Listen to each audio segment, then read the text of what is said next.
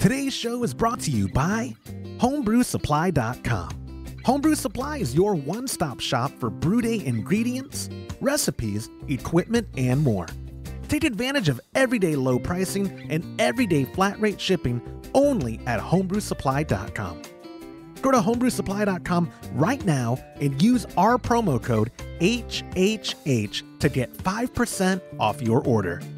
Homebrewsupply.com. Let us help make your brew day better.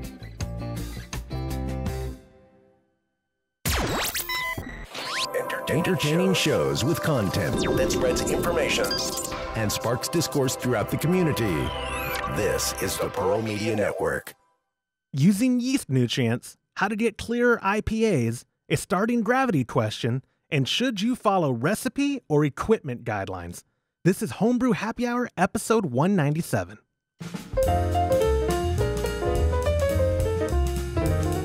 Hello and welcome to the Homebrew Happy Hour. This is the show where we supply the answers to your homebrewing questions and discuss all things related to craft beer. If you have a question you'd like us to discuss on a future episode, you can go to homebrewhappyhour.com and click on that submit a question link at the top of the page, or now you can call or text them in by using 325 305 6107. I am your host, Joshua Stubing. Today I'm joined by the Director of Operations at cmbecker.com down there, Mr. James Carlson. And what, what's going on? You set the mood over there. The, the president and chief keg washer of kegconnection.com over here, Mr. Todd Burns. Todd, what'd you do? I like your lighting. You look like you're in a spaceship. Hey, how are you? You look like you're like, doesn't he, James? It looks like that. Yeah, it looks cool. Yeah, like like uh like your Elon Musk over there driving Teslas and Oh, living He's in the. saving money on electricity, I think. I was gonna say, are you being cheap? What's up with the lights out? well, it was just so bright back here. Uh, you know, it's raining here Mhm. pretty hard, so I just closed my window and uh, I just turned all the lights off to set the mood. I like it. I like it. Your lighting's actually not bad considering like It mine. does look good. Sometimes I overlight, and because I'm balding and my look how shiny I am with my lighting. Uh, Todd, I I can actually take some pointers from you. I always actually forget. I always give Todd crap for like uh being a, a luddite or a Neanderthal, and you actually in the creative side. I mean, you you know lighting very well. You have a, a long history of photography, right?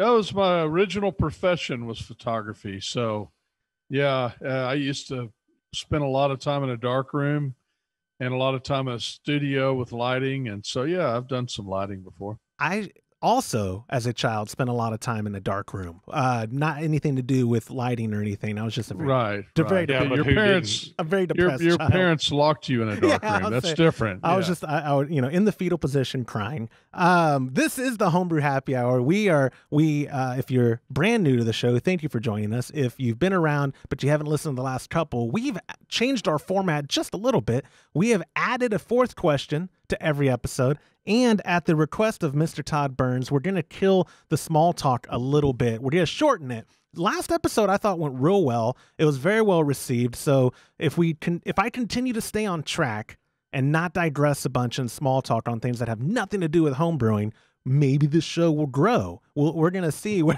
where this goes. But before we get into the questions, we do have some official small talk, some little ones. Uh, reminder the 200th episode is coming up. It's going to be on, we're going to live stream on Friday, October the 2nd. We haven't set a time yet. I'm going to be up there. We're going to do it from the barn, James. Uh, Okay. I, I know. I mean, that's a Friday. Usually, y'all can get out of the office midday ish, right?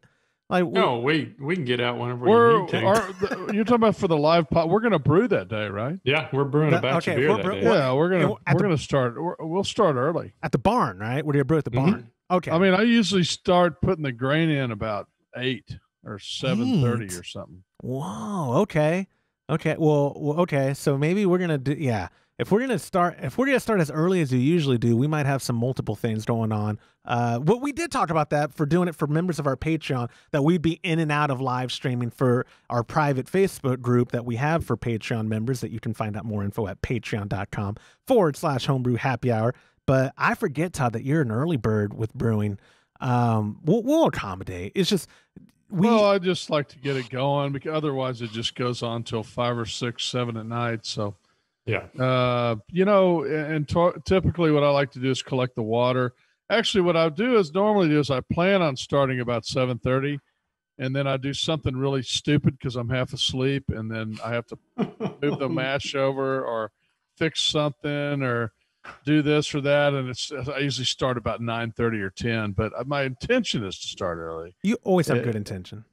Yeah, you know, I, I think it's very important this time. I'm, I'm gonna. You're both gonna be there, right? Yeah. Oh yeah. Yeah. Okay. I figure we'll have breakfast, get over there early and and then Uh, hopefully, you know what I was thinking is maybe we can get that auto sparge on the on the on the mash before that.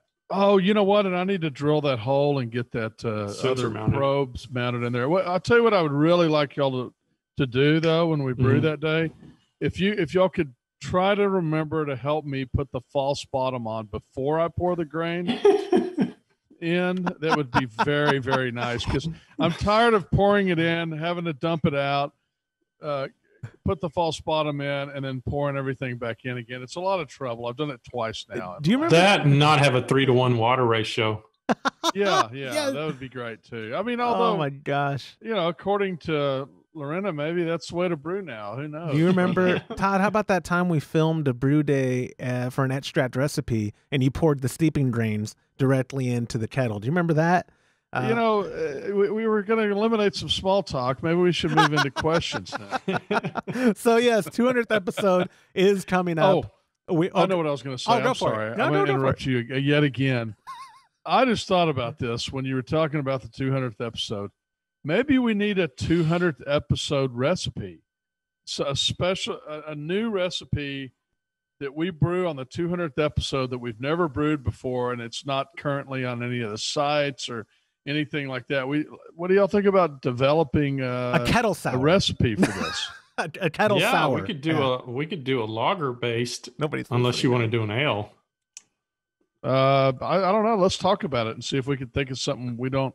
Maybe we have a hole somewhere in our recipes. New something England that we all like, or or we could get really bad and just and, and just all brew a Kolsch again. It's been so long. Well, you know it's going to be a Kolsch. If it's not a special recipe, it's got to be a Kolsch. I've been just now shouting out kettle sour, New England IPA. Y'all aren't biting the troll line at all. Oh, I know you don't want to brew, brew a kettle sour. I'm just ignoring you. barley wine, but then we wouldn't be able to drink it for a long, long time. Or But you know what? We have not brewed a Kolsch in a long. I personally haven't. haven't brewed a Kolsch in a year. I bet. Please, y'all, sh- we should only so I could have drinkable Kolsch back on my tap.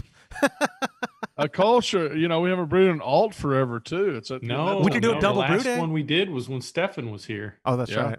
Yeah, Okay, alt. let's let's uh, let's talk about what we're gonna absolutely. what we're gonna brew. That's a great idea. So yes, the 200th episode coming up. It'll be uh, live streamed for everyone to consume on Friday, October the 2nd. We're usually doing them on like 11 a.m. or noon. I'll get the time finalized. It'll probably depend on where we're at in the brew day, but we're going to be doing it from all of it from the barn anyway, so it won't matter if y'all have to step away at one point to go do whatever you have to do for for the brew day. But it's all we're, we're I'm assuming we're going to be over there on the three tier system, and so we can set up the podcast right there on your little countertop, Todd like where we do Yep. recipe recap and and all that fun stuff. So yes, and if you do want to be part of the whole day stuff that we'll be live streaming in and out of, any tier of our Patreon uh, membership can get you into our private Facebook group. So if you go to patreon.com forward slash homebrew happy hour, say it again. I'll probably just say it 10 more times this episode, but that's for more information. Speaking of Patreon, our September recipe kits have been announced. You get to choose between a pumpkin ale or a dry Irish stout, which is a Guinness clone.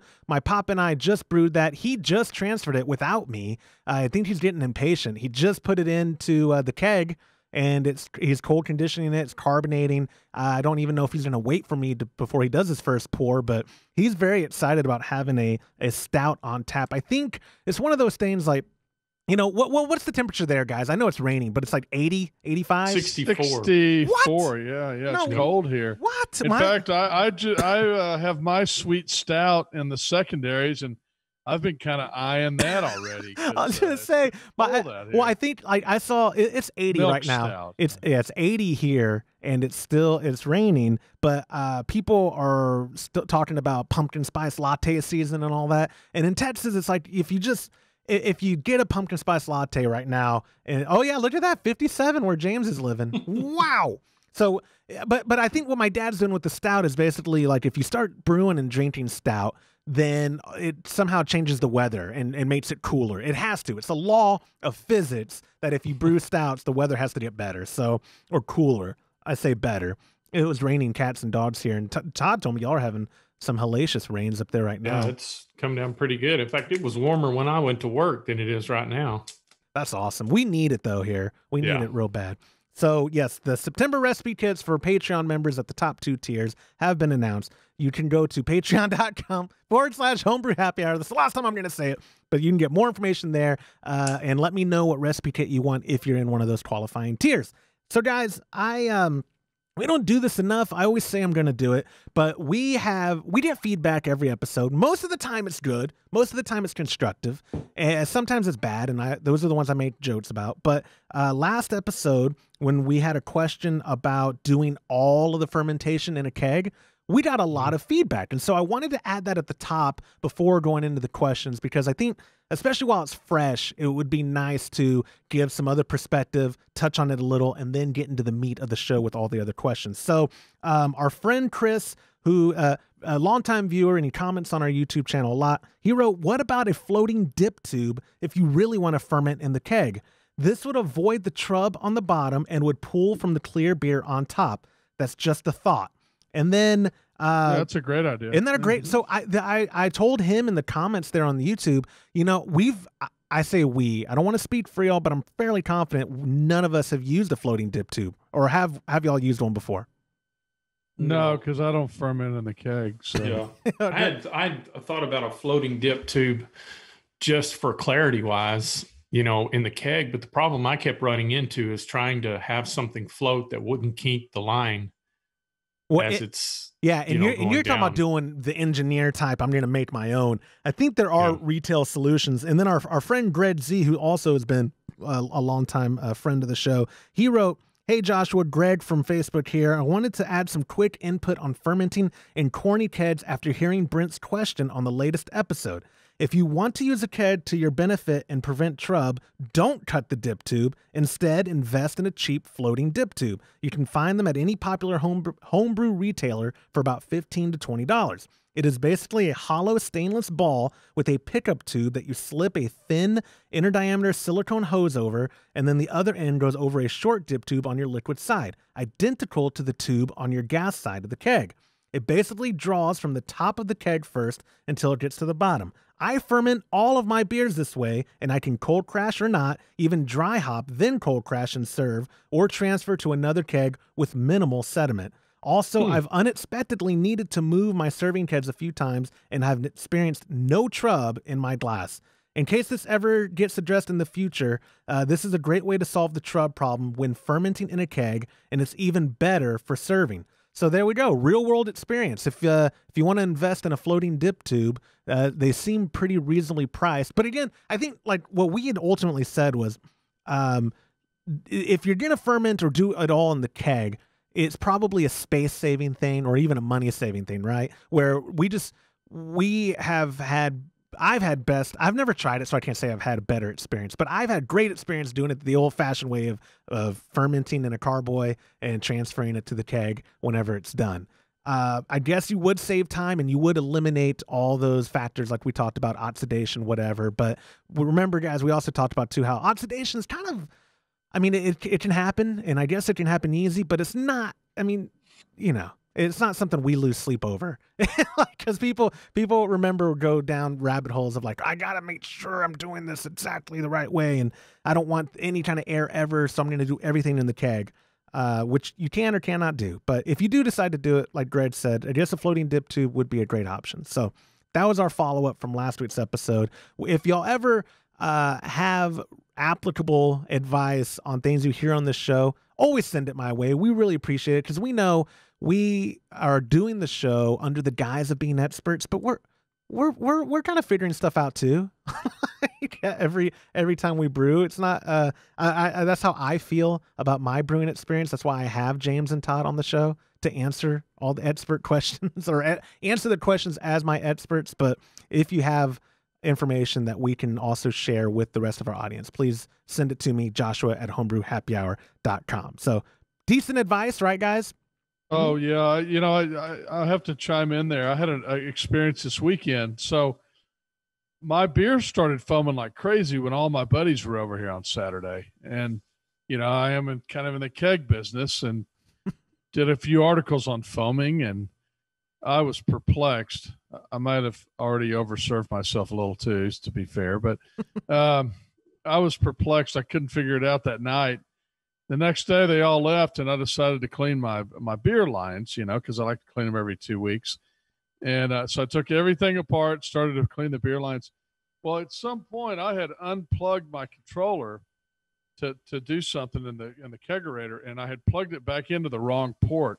So i had frozen all of my kegs. Oh no. and that's the reason it was foaming is because it was uh, partially frozen. So I think everybody had uh, felt a little rough the next morning because I was basically serving them ice beer or beer that is the much of the much of the uh, uh, of the water is frozen, so it ends up having more alcohol in it. So be careful to not over to not freeze your kegs by doing a stupid move like that. So I'm really surprised you didn't find a way to blame me for it. Because remember that one time you unplugged your fermenter and then you you called me like three days later and yeah because you said that thing's really loud can we unplug it and i said yes if you remind me to plug it in when we're done i don't remember that part I remember, I just remember the call three days later. You didn't tell me gotcha. to, yeah, you didn't tell me to plug it back in. I said, plug what back in? The fermenter you had me unplug.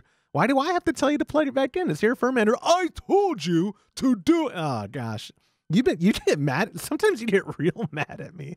It's uh, it's. I'm glad I worked 300 miles away from your however. I don't ever. I never remember getting mad at you. Oh God, I have a 13 ish year history in my brain of you getting mad at me. But anyway, we do have four questions for this week's show. So we're going to get right into the questions, starting with question number one from our buddy Josh W., who used the submission form at homebrewhappyhour.com. Josh wrote in Hey, Josh and gang. First, I want to start by telling you what a great name you have. I couldn't have picked a better one myself. Lovely name. Say hello to your mother for me. I have two questions, actually. The first one deals with yeast nutrients. Is using yeast nutrients as imperative for brewing beer as it is for making wine and mead? I have read your most I have read that you get most of the nutrients uh, the nutrients yeast need from a good mash. Second question is a little more important and is as follows. My local homebrew shop is closing after 15 years. The owners want to spend more time concentrating on their other ventures, including a wonderful brewery and an artisanal bakery. Since I will now be doing 99.9% of my shopping online, what kind of items should I stock up on or keep spares of? I keg, and I am an all grain electric brewer, if that helps. Those are great questions. Uh, number two, I have a lot more to offer. So, number one, I'm going to throw it to you, James. With with yeast nutrients, I mean, again, I, I hate sounding like we're beating a dead horse, but we we always use Imperial. I, I don't use yeast nutrients beyond and a Whirlfloc. I'm lying. If you want to consider a Whirlfloc tablet a nutrient. It's not. It's not. It's for clarity. So, but yeah. I'm just saying, like that's. I can't think of any time I've ever used yeast nutrients. What are your thoughts, Mr. Carlson, on yeast I, nutrients? I don't usually use them. Um, he's right. The mash pretty much creates everything the yeast need for as far as nutrients. The only thing that might possibly get me to use it if I had a really high gravity beer, and I'm going to try to get as much as I can get out of the yeast. Uh, another thing I was thinking about is that would be really good if you were going to do yeast starters. We don't really do that a whole lot because we use Imperial. Um, but if you were going to make a yeast starter, I would probably suggest using yeast nutrient because that's going to help the cells divide quicker and uh, healthier. And you know, as we we talk about cell lag or or the uh, yeast lag, the the point where it's not eating enough or consuming enough sugars and there's not enough numbers to create uh, the airlock to bubble or to create enough CO2. That's called lag time. Um, that could help speed that up if you were doing starters or if you have a real busy grain bill bill, bill beer, you might want to consider doing that. But for the most part, don't use them. Yeah, so no no actual experience. Todd, I uh, again, I, I, love putting words in your mouth, but I don't believe you've ever used yeast nutrients either on a brew day, have you? Oh yeah, Yeah, I used it on the last batch I brewed. Did you really? So yeah, I use uh, foot and mouth. I Hold use on. it every time I remember to pour it in there. Yeah, that's the thing is remembering. I know when we were doing Big Bertha years ago, I, that was a routine. Ev- I put a, a teaspoon of yeast nutrient in it. Uh, of course, you gotta understand we were doing thirty to forty gallons of beer, but you know we use that a lot. But Yeah, I didn't Uh, have any here for a while. Last time I brewed, I picked some up and uh, I just, you know, threw some in there just because I had it. So Well, the only yeah. reason I was so confident you didn't is because of the dozen or so brew days I've been around, and even the specifically the ones we film up there, you've never used them. Like on any of those. yeah, brew but days- y'all, y'all mentioned the other day that I don't use Whirlfloc, and I pretty much use it on every brew. So I'm not sure. Uh, yeah, weren't you? You didn't think I used Whirlfloc, and I throw them. No, in I didn't every say that. I don't. I don't. Oh, you didn't. Okay. I don't remember. I don't use Whirlfloc. Yeah. I mean, I could. maybe You I know what, said that. Todd? Maybe I did. You want to bet five dollars? I mean, I don't think I said that you don't use Whirlfloc, but I might have. Uh, and it'd be easy to find. You're probably right, but if you want to bet five dollars, Let's move on. his second He's part. not taking the Yeah. bait, dude. the second part of his question. Uh, first off, what a bummer. We've I've gotten we have heard news through through the beat of our industry that a bunch of all the brick and mortars that have had to unfortunately close shop because we're still in in the midst of a pandemic and and most local governments are keeping certain businesses closed. And some homebrew shops are considered essential and they can stay open but a lot of them are, have, are having to choose to close their doors because it's already a marginally thin industry. Uh, you don't get into this industry looking to get rich. You don't No. yeah unfortunately. But so it is a bummer josh about your, your shop. And and going online is what a lot of people have been having to do anyway if they're trying to be contactless or uh, if their shop doesn't keep some of the certain things that they're looking for or whatnot. James, you are the man when it comes to keeping stuff on hand in my book. Like every Yeah. time I every time I've ever had a brew day issue, you're like, uh Oh, with that, oh, that would be resolved with some DME or whatever. Don't you have DME Sure. in your freezer? Blah blah blah. So Mhm. that's the first thing that pops in my mind. What are the necessities for a guy that kegs and brews all grain that he should always have in stock at his house? Oh, I would absolutely say base malt. So if if you use a lot of two row or Pilsen malt, you keep keep plenty of base malt in your freezer. Uh, DME helps add if you if you're short on gravity, you can you can boost it with a little dry malt extract. Plus, if you're doing starters, you're going to need that as well. I would also always keep in the freezer some A- SAO5 or some dry yeast. So in case you have stuck fermentation, you can you can try to save that batch of beer. And then also, if you use a lot of certain type of hops, you can definitely do that. I know for for years I was using just Cascade, so I had uh, a, I kept a pound of Cascade pellets in in my freezer. So that's that would be my my advice: is base malts, ye- emergency yeast, and and hops. Todd as a kegger and as the master kegger of this whole universe, I'm to say that you're to at least mention uh, a container, a tube of lube, which God, you already. I mean, I I don't even have to speak now. You already know what I was going to say. well, I always like to have a tube of lube around. that's what I was going to say. I stole your thunder. I was, yeah. When I stay over there, it, sometimes it gets awkward when people who aren't in the industry are over, and Todd's like, "Hey, Josh, pass me the lube." Oh no, we're working on kegs. We're working on kegs. Like, golly, is that how he keeps his job? This is weird. Um, O rings, right? For sure, Todd. Oh, all kinds of O rings because I have a kinds. the three tier system, so I keep O rings for everything that an O ring could go out on. Um, one of my I have a I have Blichmann pumps on my system, and one of them got some stuff in it the other day because of a false bottom issue, and um, or lack of false bottom, and uh, so I took it apart, cleaned it real quick, and when I put it back together, I I, I actually cut the O ring in half. So I went out and I had two extra O rings. Boy, that was nice. I would it would have shut me down otherwise, you know. I, well, I would have had to run everything on one pump and and, and determine how to do that. So O rings are, I think, are something that you should keep spares for everything you use. And O ring lube. I don't, I don't keep a lot of brewing. I don't really keep brewing stuff like, uh, like maybe some uh, DME is about all I keep because I mean, I own a homebrew store. I can drive 20 minutes and open the door and get anything I need. So I'm not the right person to ask for that. Uh, You are not. That's why I segued it to the kegging side of it because I know Yeah. for the ingredient side of it, you don't mind either asking someone from the office, "Hey, can you run this to me? I'm busy," or going going there.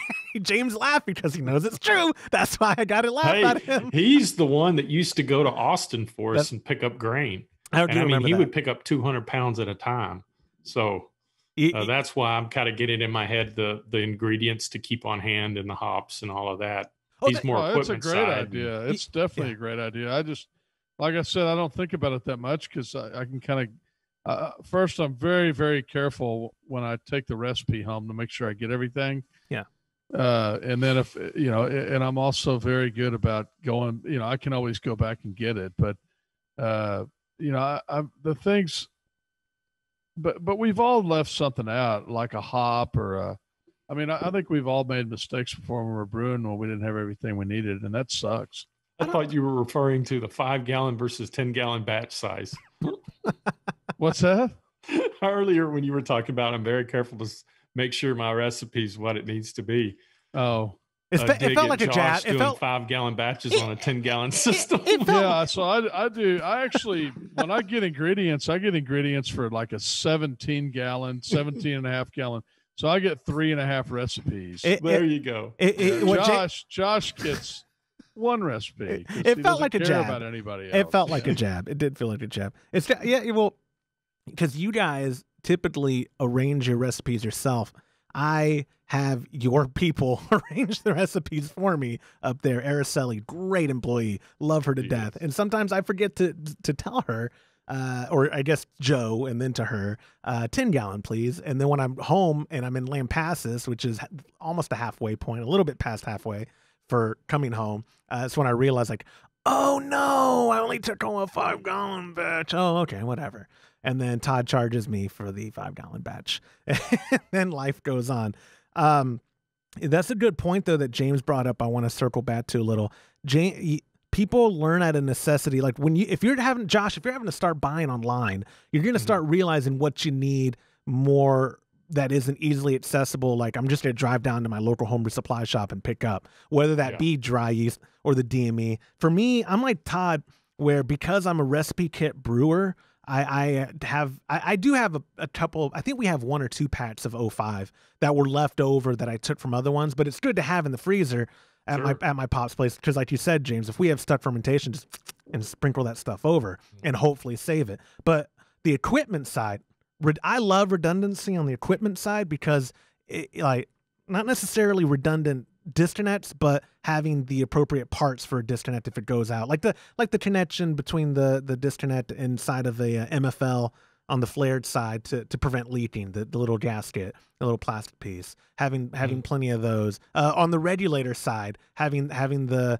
the you know like Todd said with gaskets, I don't think you can have enough gaskets because You just you lost me on that ga- uh, What gasket? The one between what? Oh So so he's talking about a flare washer. A which flare washer. You don't technically need one with a CM Becker disconnect because it's built No. into the end of the disconnect. Right. Uh, Oh, you know what? I did know that, but we we've always had them on the gas side because I had a leak Mhm. there once, and yeah, if it's a metal to metal, you definitely want to use one. But on the CM Becker, because it's, built in into the it, right? So, punch me in the face, Todd, with that look. Oh my god. I did. And just the way he goes, I. You know what? I did know that. And beca- probably because of my 13 years of experience dealing well, with CMB well, CMB. CMB is. Be- you're right. We have always bought CMB even before you owned them, even before That's you. all right. Ah, ah. I've done it before. I've actually put one w- w- without paying attention, and it'll still seal. It just doesn't have as many threads to grab onto. Yeah, no, and the, and it's funny is because we do have them in our in our gas side only, and only because we had one on the generator I took over there. Those two gas lines have it on there because I had a gas leak there once, and I just I I totally forgot that it's built into it. It must have just not been tight, is why I had a gas leak. Yeah. It- and uh, because I when you go through one full CO two cylinder in a couple days, I got paranoid and and just made sure to cover all my bases. But back to what I was saying, Todd. Having redundancy of parts on my equipment is is nice to have because if you have equipment failure, it's not as easy to go like. Uh, Uh, can you go get the appropriate size gaskets from a Home Depot or a hardware shop around you for for a corny keg? Uh, not the big disc, not the You big dip right? Yeah. tube. You might be able to find dip tubes. You know, dip dip. Uh, you know, not dip tubes. I'm saying dip tubes. I mean, uh, Lid. O rings. O rings.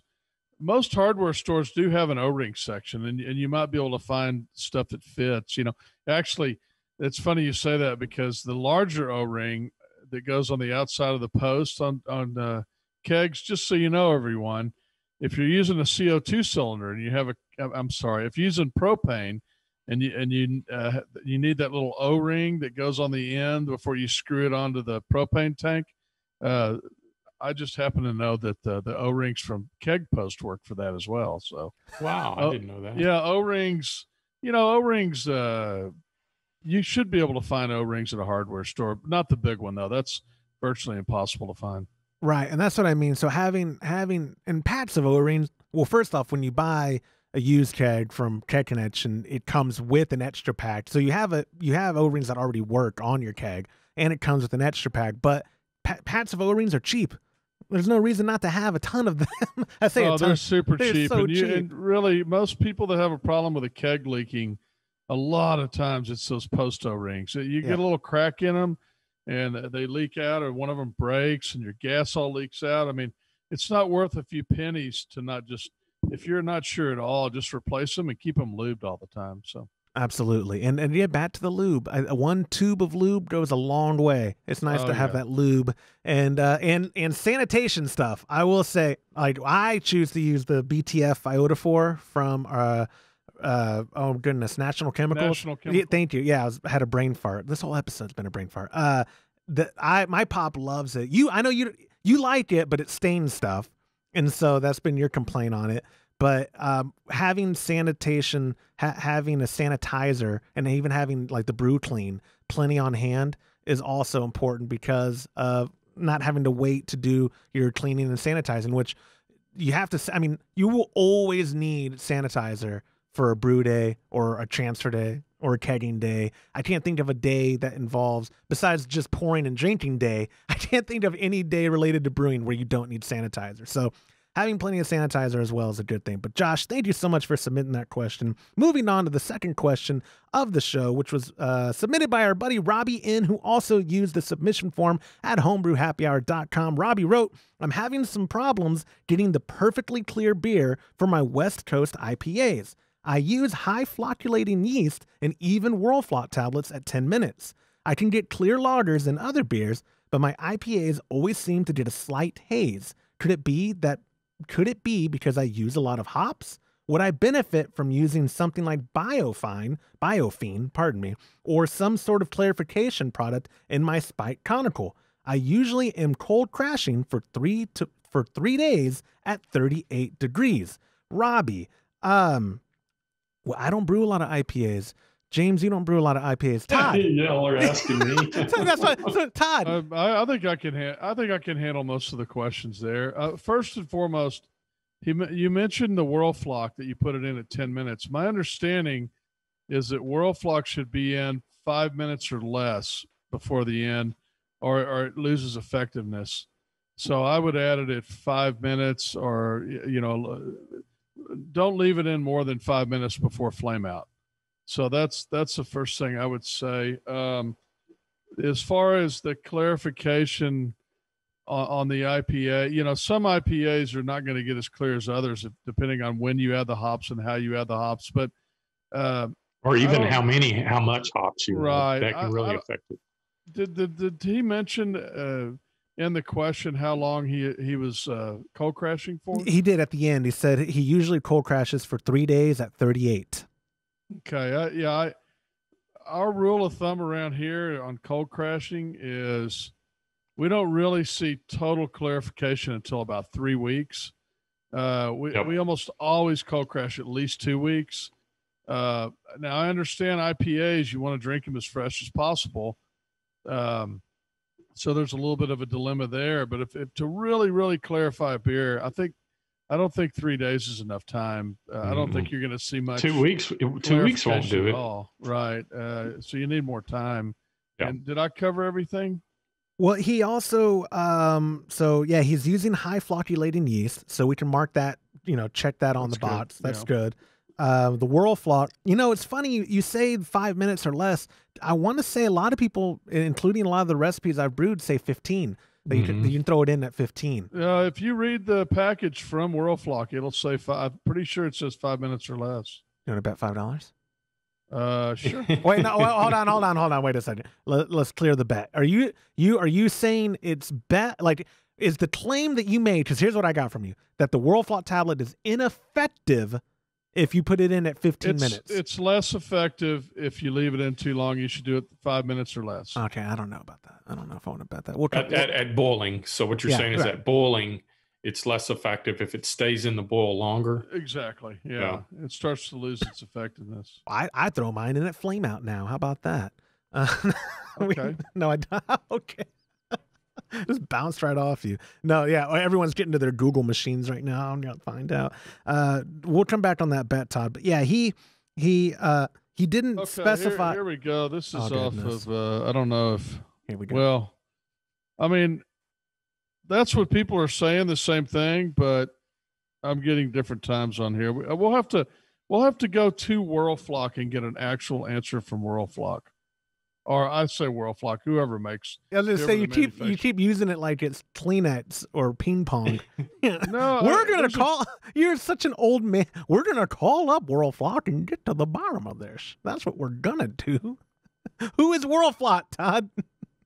It- well, it's a, it, it's, it's a, I mean, the company makes it. It's, No, obviously, not, yes, yeah, I know. Well, it, it is a pro. I mean, in Whirlfloc, just literally like processed um, Irish moss, and isn't that what it is?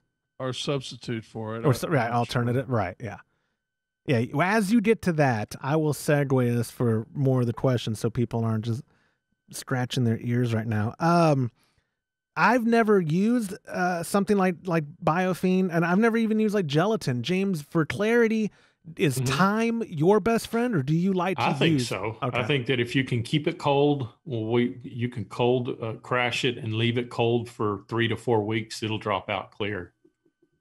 And I, you know, even though IPAs aren't our, our your and mine favorite style, I will say I like presentation, like a like he like a west a good West Coast IPA with clarity seen through it. Eh, Maybe it's a placebo effect going on in my brain, something psychological. With a good presentation, it always seems to taste better too. And I know again that that's not scientific, right? But like, Sure. No, it, it- a good example would be one year hunting season started. I brewed some beer for Todd, and uh, it was good beer. It just wasn't. It was it was fairly young, so it wasn't as clear as it should be. And you know, uh, there was a good bit of people made comments about that's not the most appetizing looking thing to drink, and I tend to agree with him. So after that, I focused more on on trying to produce a lot clearer beer. Before, I wasn't really concerned about it because I was my thought was if it tastes good, then that's what's the most important thing. But presentation is absolutely important. Right. And and like you said, ultimately, like, because don't get me wrong, I've, I've had some very beautiful looking clear beers that probably weren't very good uh, on an objective scale, but Yeah. it looked good for Instagram. And that's what really matters for me. But- oh, it's got to have that I post. gotta have that post. Yeah, people weren't.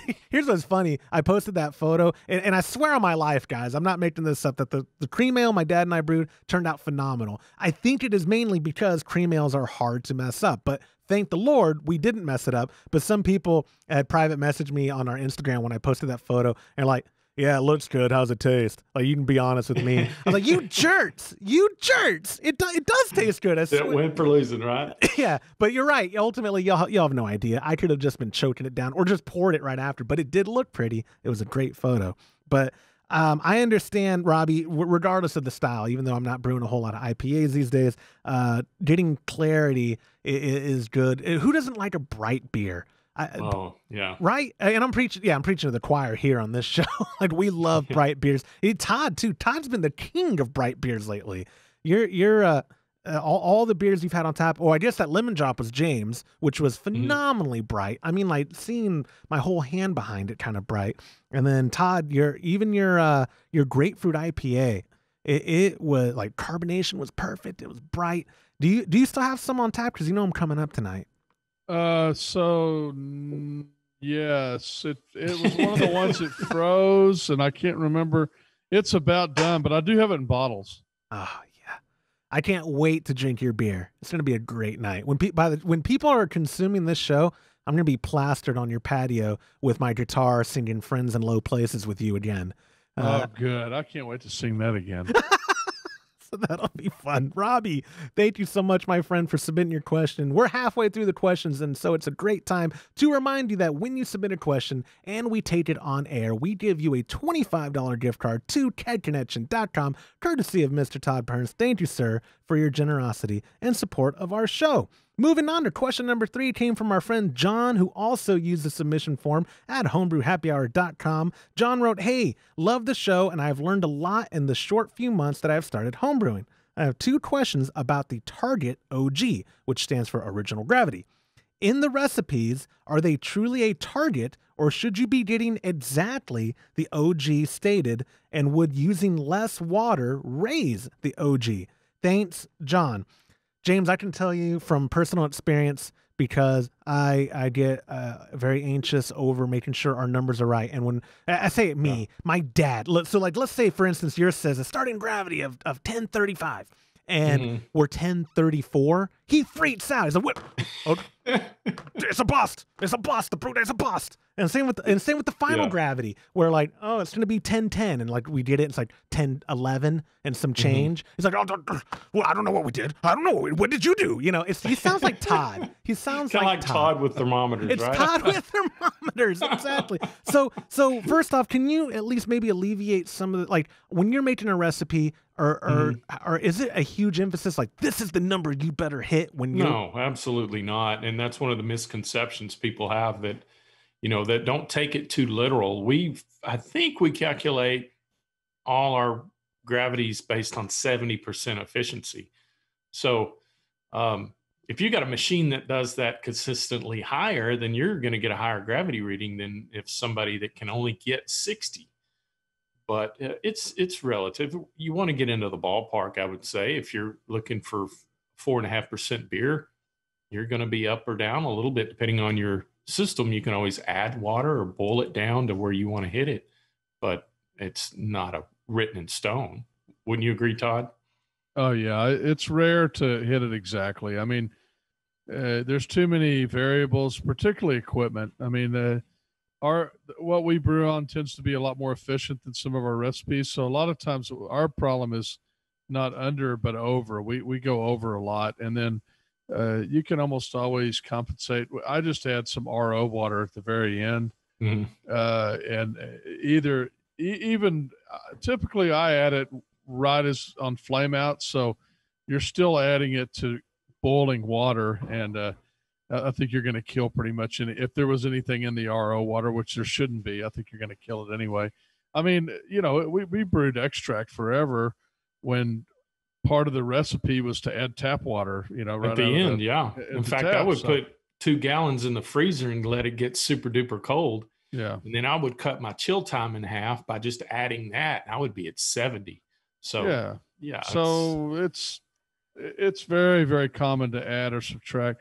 You know, you can subtract by boiling longer, which you, you know, you can run into some issues if you, if you boil too long because you're, you're on a hop schedule and everything like that but uh, you know, for the most part, don't don't I wouldn't worry about it too much. Well, and, and, like you said though, if you using less water will bump up the the original gravity, correct? Yeah. Yeah, and like y'all said, if you're trying to bring it down, like y'all done, what was the last brew day? Wasn't it that brew day that we did the spike solo where y'all had to boil down to, to get to your mm-hmm. numbers? Mm. Yeah, yeah. For some reason, that particular brew day, we were way off on efficiency. Um, I think I had to boil it down to 13 gallons on a was, 15 gallon batch. I was off when I my, on my last batch when I brewed the uh, sweet stout. I was off, uh, and I, am not going to hit the alcohol because my final gravity wasn't where I wanted it to be. Uh, so, uh, you know, it, my alcohol will probably be. I don't remember what I said now. F- maybe four? closer to four and a half than the yeah. five somewhere Boy, between good, four and a half and five. But it tastes great, and mm-hmm. you know, I don't. I mean, it's it's going to be as long as it tastes good. I don't really care.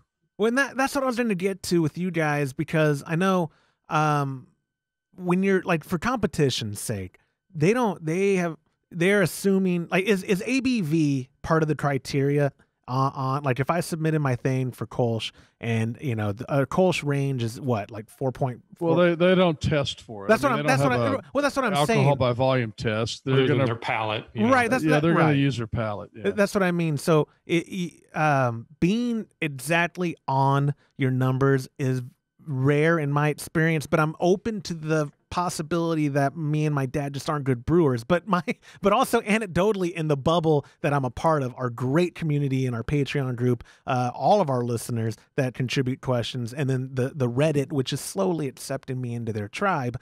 Uh, it seems like people uh, have a shared experience of like yeah, I'm I'm in the ballpark, but and it tastes good. I'm happy. It's not like uh, I think it's a very idealistic or even romantic. Uh, you're like you, you romanticize like I'm gonna okay. The recipe says this is the OG. I do all this. Boom. Oh, I hit it. Haha, it's right on the dot. Like that doesn't happen a whole whole lot, but but there are yeah, but when it happens, you're all like, "Wow, I hit my exactly hit my numbers." So Well, it- yeah, yes. it's kind of exciting when you hit them. when it does happen, I put on my lab coat, I put on my glasses, and I I, I do the meme where you know I'm something of a scientist myself because, because otherwise we yeah exactly they when when we hit our numbers it's like oh it's because of what we did and when we don't hit our numbers it, me and my dad are like ah, what, what that something recipe's wrong. yeah, that recipe was wrong. Yeah, who did this? Who did this? So this is Joe's no or Lorena. Lorena's recipe is wrong because our system was a number short. Uh, thankfully, like like I said, what is okay in y'all's opinion? When do you become concerned? Five points, give or take. Four points, give or take. It, like when when does it become an issue to where like oh we got to do something? Well, yeah, I mean, if you're off by five points, that's That's, that's, a quite a bit. number. Yeah. Yeah. So if, if the recipe called for 1050 and we can't get anything close to 1050, like it's in the 1040s, then I look at what's what's going on. You know, check Yeah, the temperature. Usually, if well, I don't know about Todd, but I had an issue one time where I just couldn't seem to hit the gravity, and I come to find out I was five degrees off. So I was in the beta range, which normally it produces really fermentable sugars, but just doesn't produce, produce as much. And that also Yeah. can be detected in the body as well. Interesting, and I didn't consider that either because you know uh, this is this is digressing, but it's on topic, so don't tune out yet, listeners. Uh, we have had like with that foundry, it is uh, was it five degrees off or six degrees off to where after we brew, which again, knock on wood, the cream ale though turned out great. We we were our numbers were a little off, but then it made sense afterwards when we realized, wait a second, it's showing 207 and it's boiling. I'm not really a scientist or very good at math, but water doesn't boil at 207. And so we realized like, oh crap, it's five degrees off. Like, you know what? Well, when you when you notice that when you're like, we didn't the notice it during the we didn't notice it during the mash. That that's the part where it, it well, what happened when you put your thermometer in there to check it?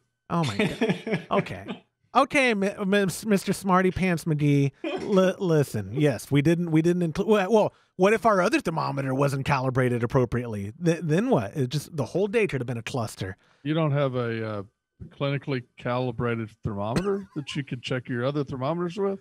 I The- mean, I don't, I don't understand. I don't. Of course, you don't understand, jerk. He's probably got an extra one he, you can you can borrow off of. I me. do have an extra one. Yes. Uh, but for when he breaks says, James, do you think I don't look for stuff to steal out of his barn every time I'm up there? like Todd, look over there, putting stuff in my button up. That's why I wear Hawaiian shirts. It's easy to slip stuff in. He thinks I'm He get- definitely was a Boy Scout because he's always been prepared. he has always been. that day you're that right. we did the presentation for HomebrewCon, I forgot the uh, the barb pieces for the for the tail pieces. I don't know if y'all remember that. I don't. I was able to scrounge enough for six faucets out of some of the stuff he had, and I would have bet I was going to drive forty Oh, miles. to okay, get 'em. first off, before Boy we start, Scout or pack rat? I'm gonna say thank you, Todd. Before we start buttering him up, he's a hoarder. no, he. I'm telling you, he is not. He is prepared because when he started brewing it at his house, he made a Right. point to come in and he said, "Okay, well, I know I'm going to need this. I'll need extra." I'm telling you, man. Yeah, you're right. I've never seen somebody that, that's so prepared No, no, no. You're Todd. no, you're right. Todd Todd does have a lot of redundancy. Go, but It's going back to one of the first questions, yes, we I would like to give him credit and say it's intentional, but whether it is or isn't, it's there. We know that for a fact. Well, as soon as like my my soon to be in eight more days, 86 year old father has drilled into my head since I was a little kid. Prior proper planning prevents piss poor performance. That's right, man. We gotta have your dad on the show. That's We what we. That's what we yeah. need to do. great. We need to do a. brew- Is there any chance we can get him over there on the 200th episode for the live brew day? I'm sure. Yeah, he'd love it. He'd Huh. get a kick out of it. Let's do that because your your dad's one of the coolest people I know, and uh, he's actually. I'm totally digressing off topic, but I'm just excited about this. We've been he's been recording his book because we're gonna eventually at some point publish it through Audible or on the Amazon platform. I guess they're the, the, the one and the same. And uh, I've been editing it in my free time, which is to say I'm not working right now for Todd. I'm just editing this audiobook, and uh, you're. you didn't laugh. That makes this awkward. I'm uh, no. uh, I, I started on the weekend, and you could tell your dad's really into it. I'm excited about it. I, I like that. I like having the author read their book because I think that they get more, or they they uh they convey more. Rather, like your dad knows what he wrote and how he was feeling when he wrote it, and he's able to convey that.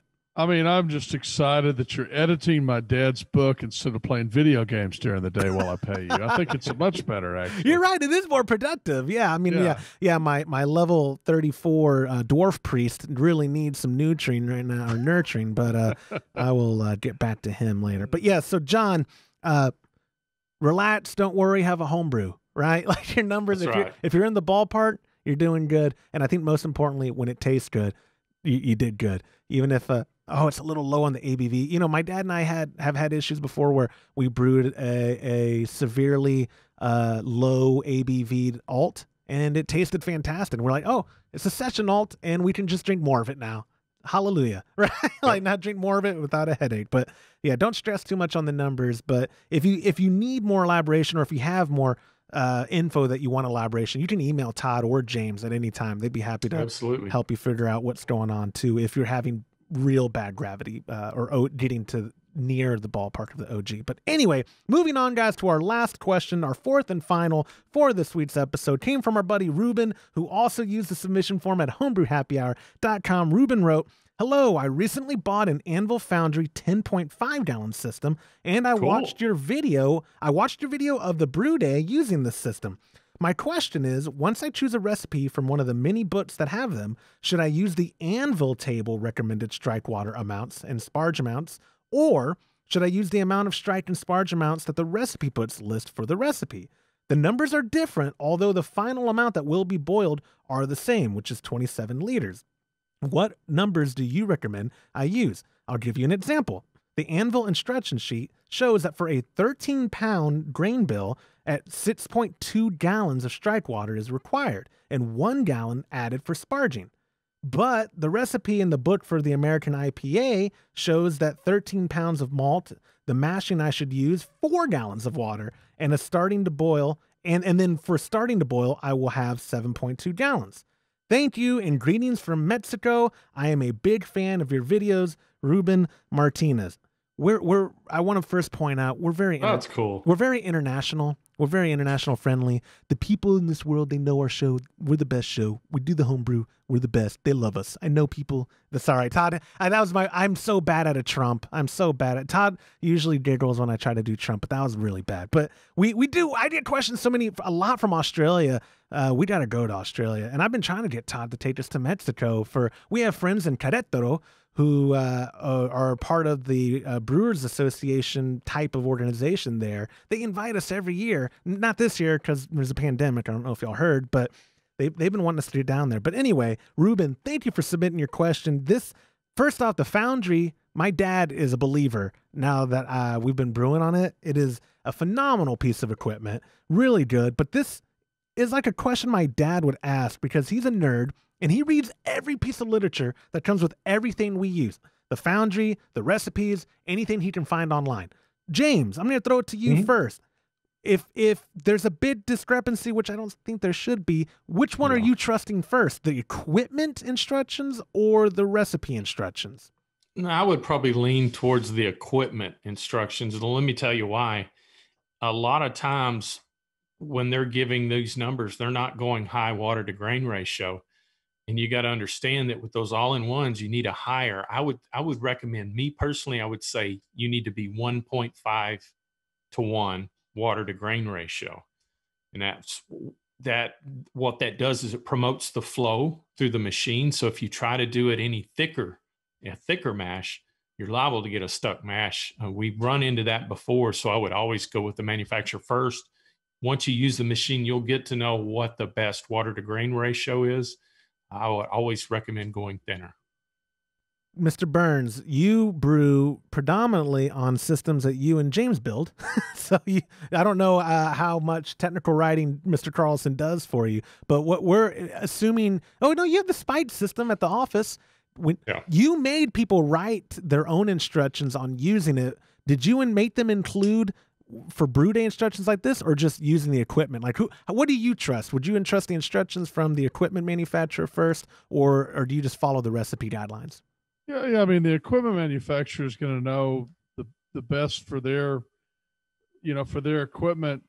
But there's also some influence from the recipe as well. I mean, if you're if you're brewing a recipe that say has a lot of oats in it, or what's another one, James? It's something Uh, that's going to clump up.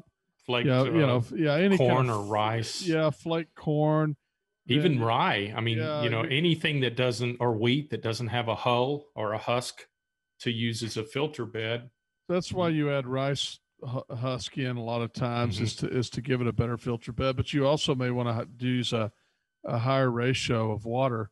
Mhm. Uh, I mean, I've I've brewed from everything from 1.25 to to two ratio, and I mean, I, I think you can get a good beer out of any of them. It's just I, I typically, uh, for, as a general rule of thumb, I do 1.5. Uh, That's what I use. so- and that works for good for all-in-one machines like the Anvil Foundry, the Grainfather. Uh, it also works good with what we're using, the three vessel Herms system. I did do one that was closer to two the other day, but that was completely due to the fact that I couldn't read. So Well, I think we did a four to one uh, one day. we did.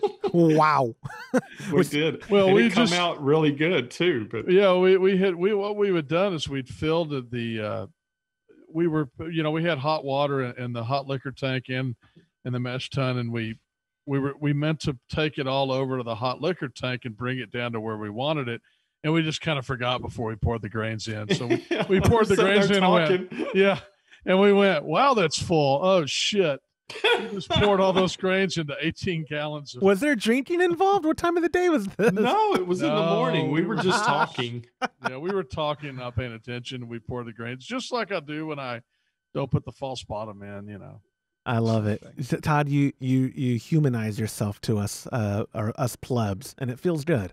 It feels I feels screw up all the time when I brew it. All the That's time. how we learn, right? It is how we learn. And I, I want to and bring. it's a it's shocking, shocking how many times I have screwed up brewing and came out with a fabulous beer. That's what I was going to say. James just said that too when on y'all's little four to one day. How it, it turned out great. It, it all it all worked out. And I also want to bring up what James was talking about, uh, or it kind of been a theme throughout the show. Like uh, with one of the other questions with your system and efficiency, uh, you're going to get a feel for what you're brewing on. And, th- and in my opinion, that's one of the beautiful things about brewing on the same, like like dialing in either your cooling, your cooler brew, like the igloo style system, or a three tier. Mhm. Like you're more than likely you're brewing on the same kind of vessel every brew day, and the more you brew on it, the more you dial in, knowing Oh yeah, like absolutely. and, and and then it becomes more of a of a feel than it does necessarily a, a an indexed book written thing, right? You know what I mean? Like Yeah, that- you get to you get to learn more what's important and what is not so important. well, And yeah, so- it, it's it helps to uh, well, also it helps you when you're developing like we're Yeah. doing right now. We're developing equipment. I don't know if you remember, James. We used too small of fittings on my system at 1st Mhm. Uh, yeah, and we couldn't figure out why the system was so slow circulating. Well, you, you two things. You know, if you remember it, it, it, it took a long time to, to ramp up temperature, so we couldn't Yeah. do any step mashing. And two, it just the volume wasn't there. Yeah, we, we weren't flowing enough through. We ended up putting bigger fittings and bigger hose on. In fact, Eric and I brewed an ESB on that one time, and it's you know afterwards it turned out talking about uh, you know brewing and making mistakes and coming up with a good beer. That ESB, if y'all remember was just an excellent beer. Everybody loved it. Mhm. and and somebody asked me so how did you brew this? Like what was your secret on this? I was like well i stuck the mash for about 20 minutes and didn't get it to move at all and then i threw some more water in and i stirred it really hard and yeah, yeah, like we're never going to be able to duplicate that right Was that also uh, side note? Was that the time Eric dropped my camera? Was that the same day? Was that that same brew day? Oh no no no that was different Okay, because Eric, I don't know if he listens to this show anymore. He was our remember Eric was our first question. I didn't take it on air because it was a stupid question, but it he was the first person to submit a question. and uh, if you're listening to the show, Eric, I, I, I saw the video. I know what you did to my camera. I saw it, man. I'm sorry. Well, you know, and don't forget also, I we that day Stefan was down and we were doing an alt beer. I forgot to put the dark malt That's in. right. I mean the Yes. the really dark malt, the Yes. Carafa two or the Munich two. I can't remember. well you, you didn't need to we were we were blew, brewing a uh, blondes all that day, yeah, so- and it turned out to be a really decent tasting beer. It was Yeah, real. so- Look, I, yeah, and I don't, I don't want to. Uh, I, I, I think you already know that most of us feel like that was one of the best alts you've ever brewed. Like it was It really, was really good. close. Uh, and we need to mention Stefan and the beer we helped them brew in Dusseldorf. He he said the people went nuts over it. in Dusseldorf using our alt recipe. Yep. All the Germans in Dusseldorf that were at this party were like, "This alt beer is incredible." That's yeah, awesome. he, he went on and on about how everybody was impressed at how good it was. They think they think they drank they drank the whole five gallons that day. They did the whole five gallons. I believe it because I've seen Stefan throw back two pork knuckles. So why couldn't he throw back five gallons of beer if well, he there could? were a lot of people there. To be fair, Oh, Well, oh, what's- oh, oh. I can't think of the guy's name we brewed with. That. Jerry. So- Jerry. Jerry's Yep. such a great okay. guy. Really good guy. He's very uh, engineer type mind, and he and us German. brew that Oh. day. It was a lot of fun. Yeah, yeah. It now, yeah, and I tell you what, I was really nervous. You know, I was really nervous. I knew we were over there brewing and all that, but how it turned out, I thought mm, this will be the test for sure. did ha, has he brewed since? Has Stefan brewed since? Do you know, Todd? You keep up with him Uh, more than I do. I, don't do. know. I don't know. Yeah, That's another he's guy. got a Kolsch kits, but I don't know if he's brewed it. Y'all I don't know gave if he's comfortable y'all enough. gave Stefan the Kolsch kit. That's one, both. He that's likes them both. Yeah. Oh, well, the first the first time he ever came on the show was when Todd was over there one time, and the, I still have the sound clip somewhere. I'll have to play it on here where he goes, uh, "Alt is beer, Kolsch is not beer." He, just doesn't, and and I, I feel like unfortunately I'm probably just a huge disappointment to him because uh, first off, Todd, what are you sending me chats for? It's ending up on the. Yes, yes, they work. They're popping up now the Oh. I like it because if if you start screwing up, I could just make a comment. No. Because then it pop. No, the because then okay, I'm not editing this out because I'm lazy, and, and I'm not editing out the part earlier where I didn't know about CMB disconnects, even though I've been around them for over a decade. Uh, Todd is using the chat function on Zoom to interrupt the podcast with asking me, "Does this work?" You schmuck! It is messing up the video I didn't know that's what that. Why, why is it? Why is it mess up the video? because it pops up on the actual video, like they're doing right, th- and then No, it James says, pri- too. it says privately. no, but it pops up on my I'll just screen. pop mine up. Everyone. Uh, you you're it was Todd. First off, that's not how you spell your, you idiot. Uh, anyway, back on the topic of the show. Uh, I, I- man, I'm losing it. You're, you're making me lose it. So, so let's wrap up Ruben's question, you jerks.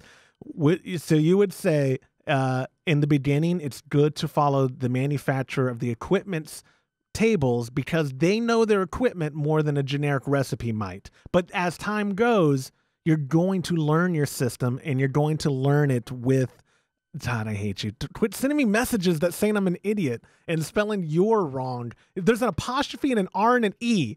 No, I put you are an idiot this time. Uh, And then James That's correct. And then James is validating you. Oh god, I'm I'm losing it. I'm lo- this is what we have to do to get this to be an hour long show. I'm glad you showed me that. Yeah. Oh, as the admin of the Zoom, I'm gonna have to disable chats from every episode going forward now. And then it, you t- Todd's just gonna start texting me on my phone. Hey, you're still an idiot. So, yeah. it send emojis? And so yeah, so yes, to wrap this up, follow follow the instructions for for your gear. The recipes shouldn't be that big a discrepancy, but over time you're going to figure out you're you're going to dial it in regardless of if it's a single vessel like he's using the foundry, a three tier yeah. Herms, a cooler brew, or or whatever equipment you're using. You will dial it in. I can promise you that. Yeah, like, and, and, after a while, you'll get used to using how you'll know how your machine acts and the efficiency you'll get out of it. And you can tweak the recipe in the water. Exactly. It's, it's, it's all good. And that's what we do. Exactly. that's thank you. Yeah, we, tweaking it is, is what nine out of 10 people end up having to do just because no system's efficiency is the same. And unless yeah. you did the recipe yourself with some software to tell it the exact efficiency that you think you're hitting, you're always mm. going to have to do some kind of tweaking. If, again, if you're stressing about hitting the numbers exactly on the button from the recipe. But uh, when you yeah, start, it's not a static number though. Correct. people Thank don't you. realize that. Exactly. Right. Exactly. It's not a static number, and that's why back over to John's question earlier, why we don't stress so much when we're in the ballpark, but not on our numbers exactly, because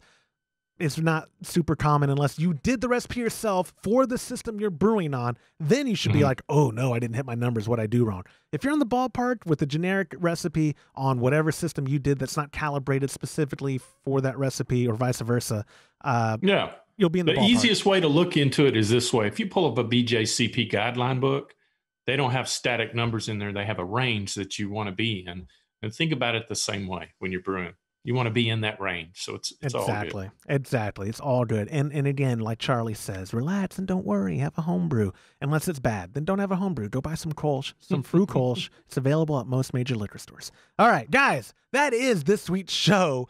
Uh, thank you for annoying me, Todd, with the chat function that you just discovered 59 minutes or whatever into our show. That that's really helpful. I'm glad you're an adult about this. Uh, Mr. Carlson, they t- you spelled your uh, wrong again. I know. I did that to bother you. Mr. Carlson. Seems like it worked. Thank you so much, guys, for y'all's time. Thank you for uh, I'm gonna I'm gonna actually by the time people are listening to this, I'm not joking. We're gonna be drinking on Todd's porch with my guitar, probably singing friends in low places. So with that being said, thank you guys so much for joining me and I'll see y'all soon. See ya. Thanks. Bye. And that will do it for this episode of the Homebrew Happy Hour. If you have a question you would like us to discuss on a future episode, you can go to homebrewhappyhour.com and click on the submit a question link at the top of the page, or now you can call or text them in or text them in by using 325 305 6107. Thank you to our show's sponsor, homebrewsupply.com, for supporting us and the homebrewing community. You can go to homebrewsupply.com right now Use our promo code HHH and get 5% off your order. You can get even better discounts when you join our Patreon by visiting patreon.com forward slash homebrew happy hour. On behalf of Todd Burns, James Carlson, and the Pearl Media Network, I'm Joshua Stubing. Thank you for listening.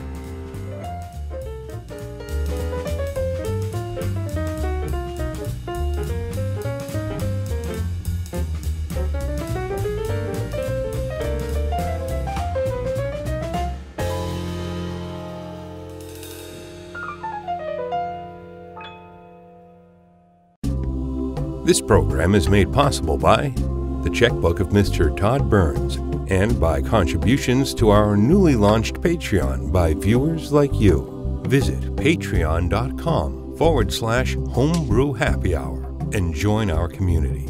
Thank you.